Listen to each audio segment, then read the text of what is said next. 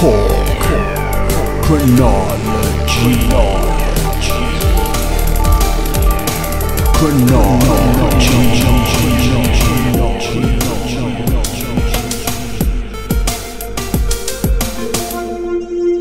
This time we're looking at the legendary M1. And this was launched in 1988.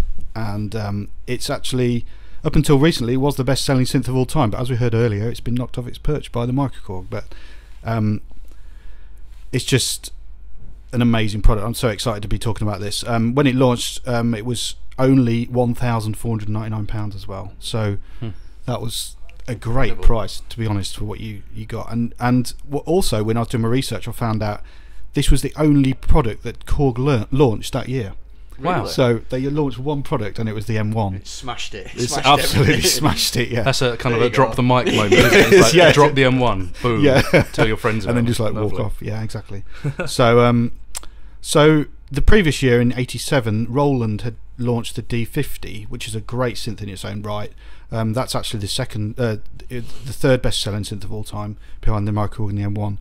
Um, and it was kind of similar in its ethos in that it had a digital uh, kind of waveform aspect to it, but because the M1 was a workstation, that's what really caught people's imagination. It was the first, the world's first workstation.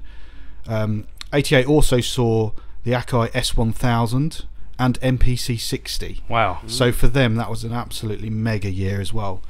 Um, there was also the Roland MC 500 Mark II, which is a, a MIDI sequencer, a hardware MIDI sequencer, which at that time was really, really popular.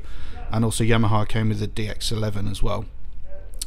Um, so it's just first of all, it's amazing that the the M1 was the world's first first workstation and also the best-selling synth at the time. It outsold the uh, Yamaha DX7 and the Roland D50. Um, it was produced for seven years due to its popularity. So um, it used a sample and synthesis technique. It was actually derived from the DW8000, which we covered last time, and the DSS1. Um, and that's one of the reasons why I included it last time because it was actually a very important product on the journey of Korg to get to the M1. Um, and it introduced this synthesis called AI, which is Advanced Integrated Synthesis, completely digital. Um, there was one or two digital oscillators per patch, with a maximum of up to 16 notes of polyphony, which at the time was a lot. Um, fully digital signal flow, so we went away from the analog circuitry and went purely digital with the M1. Had 61 keys, and it had kind of minimal controllers. We stripped it right back on the panel. It had a 40 by 2 LCD display with keys beneath and a data slider, kind of similar to a lot of the synths which were around at that time. Uh, numerical da- data entry buttons and a four-way joystick, and no arpeggiator. Funnily enough, in there. Yeah, which is interesting. Uh, the internal ROM, so that's where the in- the memory of the sounds was held. That was four megabytes, which by today's standards sounds tiny, but at the time it was actually massive. Most desktop PCs had around 512 kilobytes, so to have a keyboard with Wow. four megabytes in there, um, and that included 149 multi samples, and it had a great mix of like acoustic instruments, DWGS waves, um, which we talked about earlier, um, drum kits, ethnic sounds, exotic sounds. So it's a really good mix and some quite interesting new sounds for people to explore. It also had two effects blocks in there with reverb, delay, overdrive, EQ, chorus, flanger, rotary speaker, phase shifter, and frequency exciter. So from an effects point of view, again for that time, very powerful. Another thing which was brand new and very powerful was the combi mode, of course. So you had your program mode where you did all your sound programming, but you could then layer up to eight sounds in combi mode, and these could be played simultaneously, split, layered, velocity switched. And this was really the first time anyone had ever seen anything like this. So you can imagine how kind of groundbreaking that was. Plus, there was a sequencer built in, which again was new. So an eight-track sequencer um, with full track editing, quantized, 10 song memory, 100 pattern memory. So, and there were 100 user programs and combis. Um, these could be backed up onto data cards, MCR 02, 03, and 04, 128 kilobytes, 256 and 1 megabytes, 1 megabyte um, capacity, or you could just dump it via MIDI SysEx. Um, there was actually two card slots on there. One was for sample ROMs and one for patches, combis, and sequences. And there was many, many voice cards were made both by Korg and third-party companies. Uh, the product spawned a whole market of add-ons, including manual sounds, training videos, hardware modifications, even. And at one time, there were more than 50 official third-party partners working with Korg, manufacturing products for the M1. So it was absolutely massive. Um, we'll come back to some of the specs in a minute, but I just want to actually play some sounds for you because uh, more than any other synth, possibly alongside the DX7 in history, I think the M1 has an iconic sound, and it's been used on so many Oh, yeah. This is where I'm Um, going to get excited. There might yeah. be lots of squeals now. yeah. So what I've done is I've I've actually loaded into my Krome the M1 expansion pack, which includes all the original samples from the Korg Amazing. M1, and I've got some sound examples for you. So, just talk about the sounds first of all. So, the first sound you you got when you first turned on the M1 was this Universe sound, which sounded like this.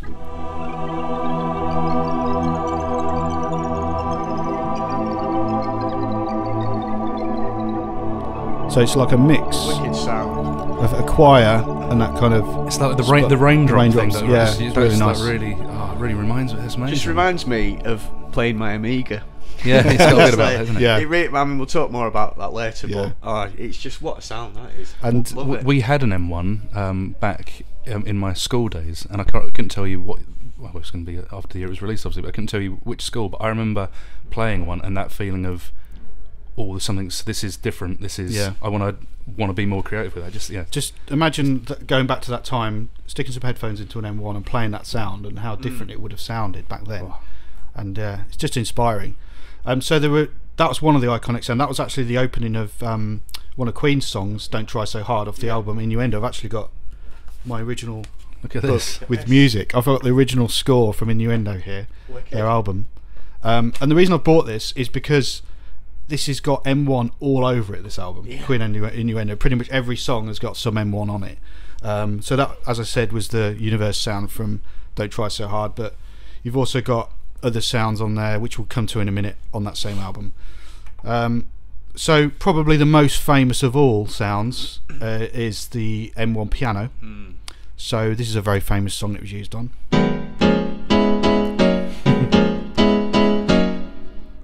Recognise that? So they do. So as we all know, it probably sounds nothing like a piano, but that's its charm because it's a whole new sound in its own It's right. the M1 piano. I tell Exactly, you what, yeah, I'm yeah. sure Andy will agree as well. Is when you, you know, working in a music shop and you've got your guitar players that learn, you know, all the different guitar licks to sell guitars. yeah, You always have to learn an M1 demo. Yeah, you have yeah, to learn yeah, an. M1 song. Yeah. You know, and Yeah, you know, for the piano and for the organ and for Yeah, the, it's weird. yeah, yeah. Mm. That's how iconic it is. yeah. know. So you got this kind of thing as well.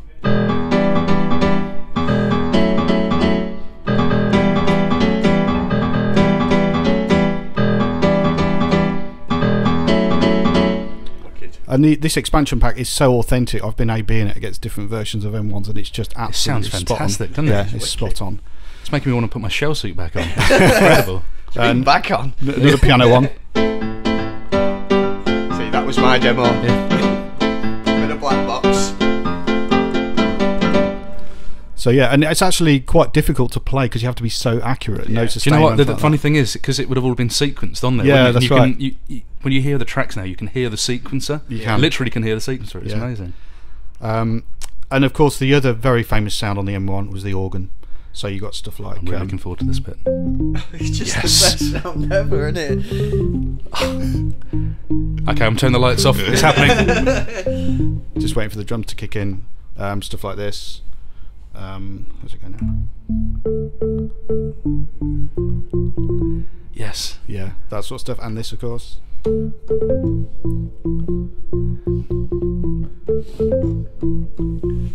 Such an iconic sound. It really is It- so it's- simple, it- but yeah. so and, so and now, effective. m- I mean, moving on now to what we're now 2017. There are there are- there's kind of a bit of a house revival, isn't Yeah, there? absolutely. time, So, big so time. many you hear that sound now. You're still hearing it, and the Yeah. piano and everything. People are dancing, shuffling the trainers in a nightclub, listening Yeah. to house music On roller skates. No, yeah, it's just- like going back to 1988. And then you've got stuff like this where they combine sound. So you've got the organ sound plus a nice pad in the background for some strings.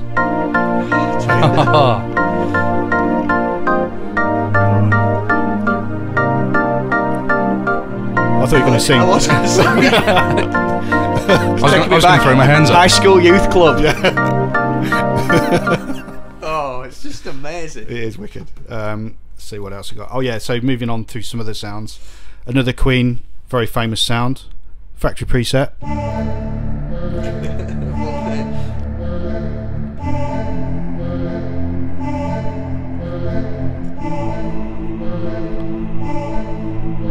I just love the fact they just got an M1 and said, "Okay, let's plug it in and we'll just record that." Yeah. They didn't do change They're anything. all presets. They- It's they- brilliant, exactly, isn't it? it's amazing. There is one thing on that album which is "The Show Must Go On," which is a sort Mm. of string sound Yeah. which people say, oh, it's a preset off the M1. It isn't actually because I went through all the presets and it's not. But it is. They've slightly tweaked some of the parameters on one Yeah. of the combis. So again, that's um, very close. That was probably Um, an accident. Probably actually, Just yeah, knocked so- a fader. Oh, yeah. I've changed cut off. Oh yeah, let's Save. use that. Yeah. So um, slap bass as well. So um, this is very big in the states. Seinfeld, Seinfeld theme. Mhm. This is how it goes.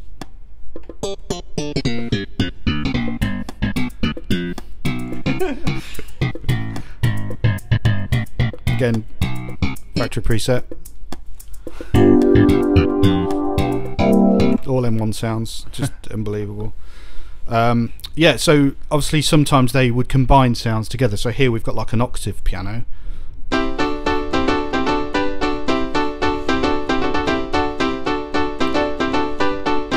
So just doing something simple like that, like lowering two. pi- Adam's really dancing now. She's The doing local dance. Happy Mondays, yeah.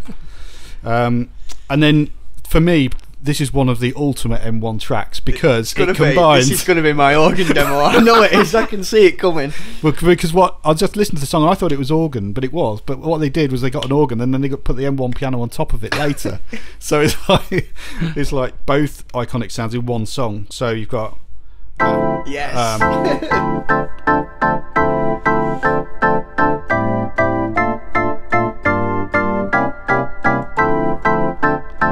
so you've got that. But then they side the piano. Um, Can't tell you how difficult it is not to start making the drum noises. Yeah. Oh, let's do it. great big beatboxing.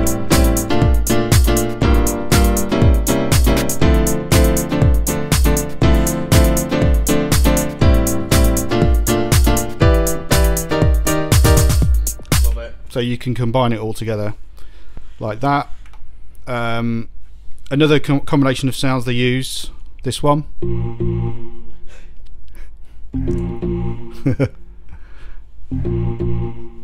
Do we know it? Love it. Time Anyway, to get the baggy jeans on again now. Absolutely. That's what's needed. I feel like I'm going like reliving my childhood here. This is like Christmas Carol, but with the M1. You're on a journey, yeah. Um, so, as you can hear, that's just literally scratching the surface. So many iconic tracks, um, and some massive songs. I mean, like Vogue by Madonna and Yeah, yeah, yeah. Black Box right on top. They're just massive hits. Um, so, also, we found out it had been used a lot in video game music as well Yep. um, as uh, Adam knows very well. So uh, it was used on um, what's the name of the guy? David Whittaker. Whittaker. Yeah, he's a he was a Legend. film yeah legend in the, in terms of film composition back in the day, and he did a lot of Amiga soundtracks and other stuff. See, I, I knew of him because he's from Bury or Bury, Ah, so, depending on what you what you pronounce it as. so near Scotland, yeah. Uh, and he, he used to write um, soundtracks for you know Commodore 64, for the Amiga, for Spectrum. But he obviously wrote one of my favourite um, soundtracks, Shadow of the Beast. Yes. He did music for Speedball. If you remember Ah, that? yeah. Dude, Yeah. fantastic.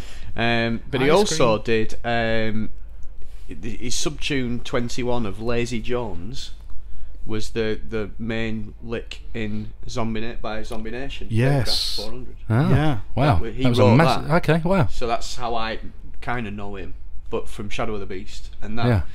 And obviously, you know, M1. Yeah. So, So what I've got here is a little sequence I've made of the Shadow of the Beast. just Uh, Adam's just gone into meltdown. It's just no, Just but a no, bit but of dribble. the thing if you think about it though, of the time, the soundtrack when you hear this now, from where from 1988 computer game soundtracks So from jumping from, From eight that bit to, to Yeah. this, Yeah. playing the game, which was revolutionary in itself because of the art style and because of the way it had like 3D back, like a Yeah, 3D parallax scrolling, wasn't That's it? the Yeah, one, yeah. yeah. And then at this soundtrack, just immense, Yeah. just immense. Um, so what I've done here is a little sequence um, of the original, but then I've added an effect. I've called it my Amiga emulator, but it's basically a stereo decimator effect to make it sound like it's sort of 16-bit sound. There we go. So that's what it would have sounded like. So I'm going to start off clean as it would have sounded on the M1. Amazing. it's just, you need to do a video on this. I do. I definitely do. So we'll let it play through a little bit.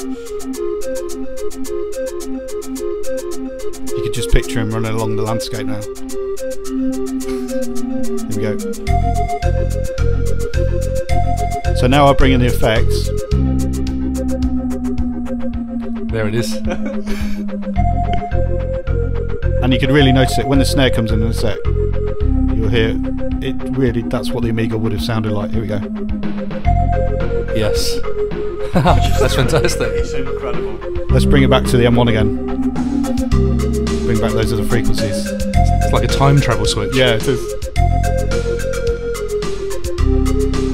Because basically, what what David Whittaker did, he took the M1 and he he sampled um, these little um, sounds into um, some specific software which he wrote apparently um, to kind of convert it into the Amiga format. So that kind of gave it that grainy, edgy quality, which actually adds a lot to the sound as well. So. Yeah, Thank um, you, David Whittaker. here, yeah, absolutely. So just finishing off then on the M1, um, there was an expanded version uh, called the M1 EX. Um, that was available via an upgrade. Uh, it actually doubled the PCM waveform memory to 8 megabytes, which again at that time was just monstrous. Then there was a rack version in 89.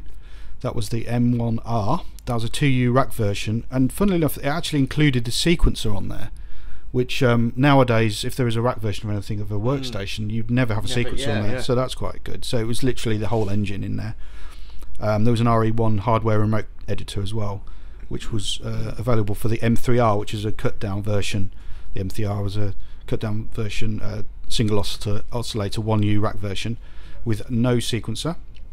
Um, then it kind of went into hibernation for a bit, but then in 2004, the Legacy Collection version appeared and it provided all the PCM program and combi data from the original M1 and, e, and EX, plus all 19 optional ROM cards, totaling more than 2,700 presets and 256 note polyphony. So it's a massive upgrade Massive, and yeah, still yeah. available today and brilliant.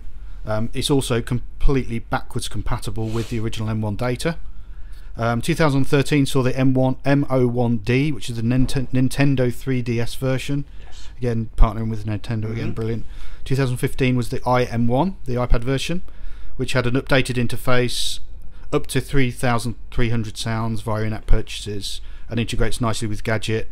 Um, the data again backwards compatible with the legacy version and the original M- M1. So, as far as artists go, I mean, you could write pages of this, Yeah, but I've just picked out some of the mega names: um, 808 State, Aerosmith, Depeche Mode, The Orb, the KLF, Gary Numan, Robert Miles, Mike Oldfield, Rick Wakeman, Pet Shop Boys, Vangelis, Vince Clarke, Thomas Dolby, E17, Greg Phillinganes, Jan Hammer, Bruce Hornsby, Jean-Michel Jarre, Queen, Quincy Jones, Jon Lord, Madonna, OMD, and Take That. That's just a few. Yeah, that's amazing. It's like a who's who of the music industry, isn't it? Do you know something else which I think is quite amazing about the M1, which makes it such a huge part of the Korg history? Do you know that it was the sales of the Korg M1 which allowed Korg to buy their their other half of the business back from Yamaha, That's Tourette, yes. Yeah. which is amazing. So is Korg amazing. really became just Korg yeah.